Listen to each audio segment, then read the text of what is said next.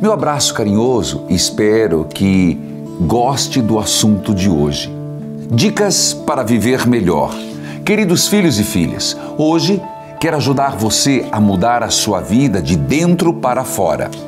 Eu sei que a felicidade tem um significado para mim e outro para você. Mas pense em alguns conselhos básicos para que você busque incorporar em seu dia a dia e assim ter a sonhada qualidade de vida. Vamos lá? Primeiro, dê mais às pessoas do que elas esperam. Faça tudo com amor e alegria.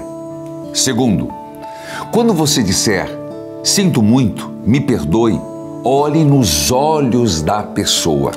Terceiro, quando você notar que cometeu um engano, foi injusto ou imprudente, tome providências imediatas para corrigir seu erro. Quarto, quando você perder, analise o que aprendeu.